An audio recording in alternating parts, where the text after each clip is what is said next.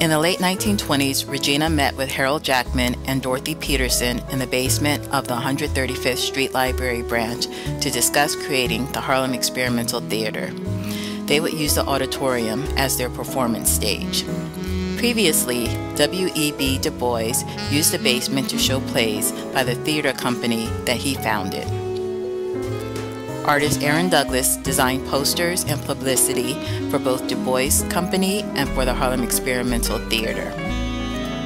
Regina said, in the beginning, we would not limit ourselves to Negro plays until we could produce our own. So our first production was The Duchess Says Her Prayers by Mary Cass Canfield, seen here.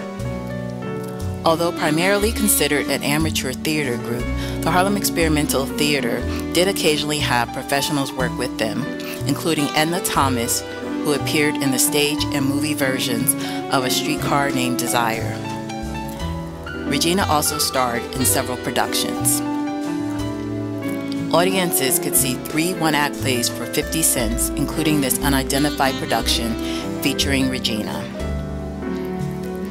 Eventually, the Harlem Experimental Theater moved from the 135th Street Library branch and performed at St. Philip's Episcopal Church and later moved to the local YMCA.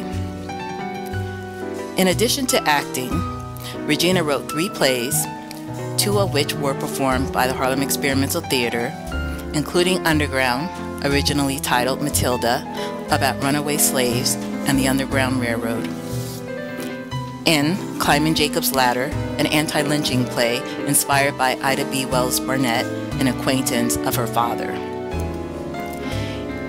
In 1980, Regina was honored by AUDELCO for her contributions to African American theater, along with Dick Campbell and Fred Hyman.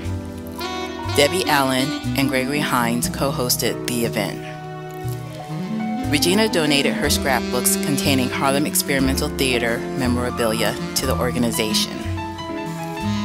In 1990, the AUDELCO office was robbed and many irreplaceable photos, posters, and scrapbooks were lost, including the Harlem Experimental Theater items that Regina donated. However, her legacy lives on and her plays, including The Man Who Passed, about racial passing, have been included in recent anthologies about black women writers.